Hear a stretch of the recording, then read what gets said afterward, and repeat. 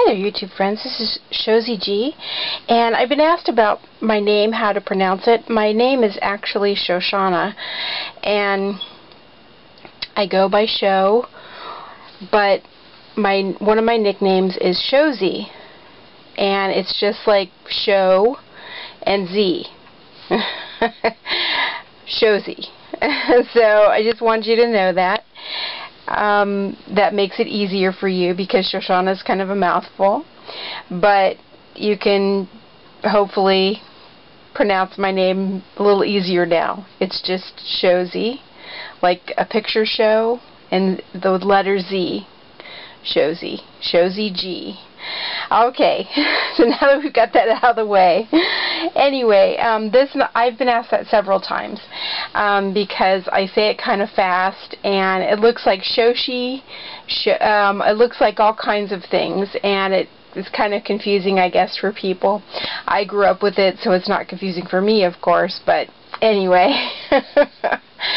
um, so, and it's actually, my name is, it's, um, in it means um, wild rose in Cherokee supposedly and rose in Hebrew.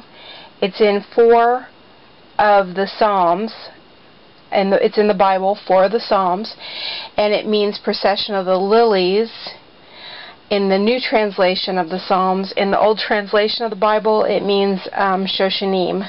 So that's the background of it. And Zsa Zsa is a variation of my name, so is Susan.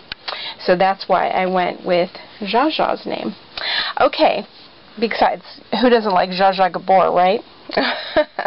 Alright, so I'm here with Petal, and I'm going to do a, a, changing for her for Fashion Friday. I know the light is a little bit dim, but here she is. And I put her in a cloth diaper because I had some cloth diapers and they're kind of small.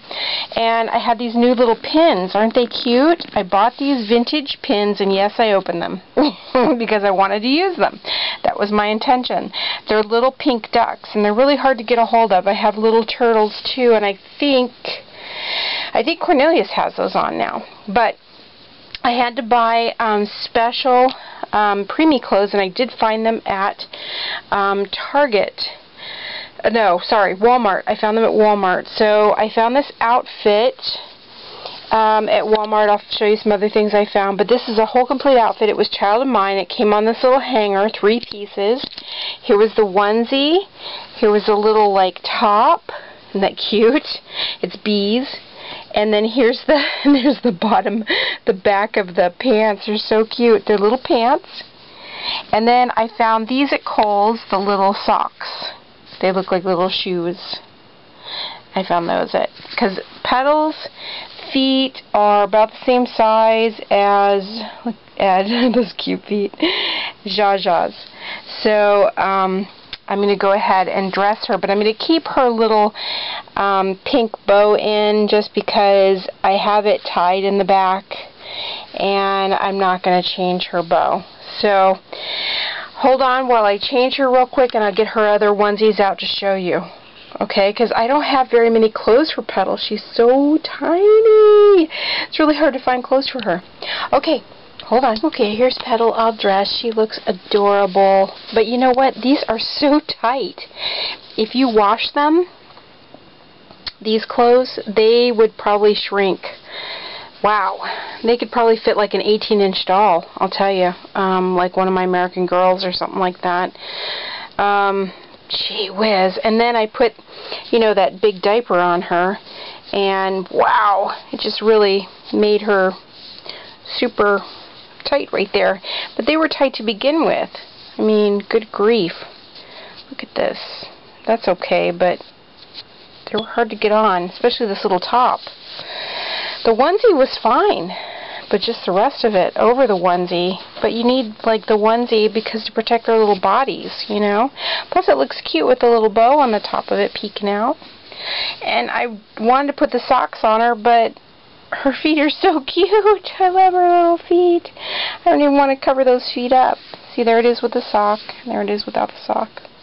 And she looks so cute just laying there with her bunny next to her.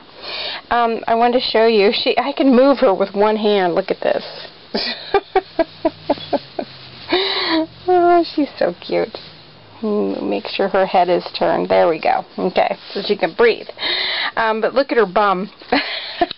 the little, the little bee on her bum. Isn't that cute?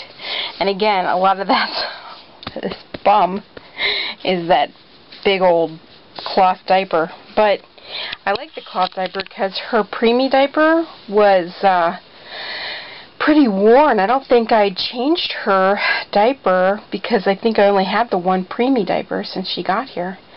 And she's been here, you know, for quite a while. So, because like I said, I only had the one preemie diaper for her. She didn't come with anything extra. She came in a box with paper and her onesie, her pacifier, her hair thingy, and her um, her diaper that was it, folks. she, there's no frills, you know. She doesn't even smell like a baby.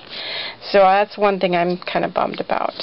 That the three babies I got from from uh, Cindy don't smell like babies.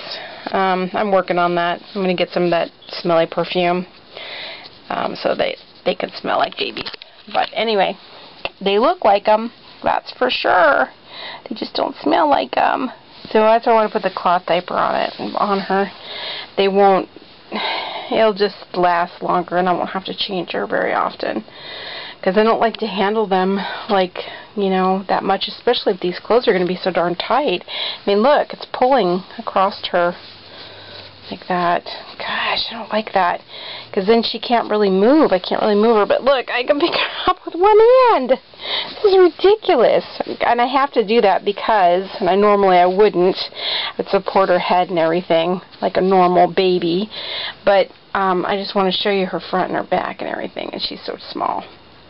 So please don't think I'm being hard with my babies because normally I don't treat them like that. But I mean, you can't even move her little legs.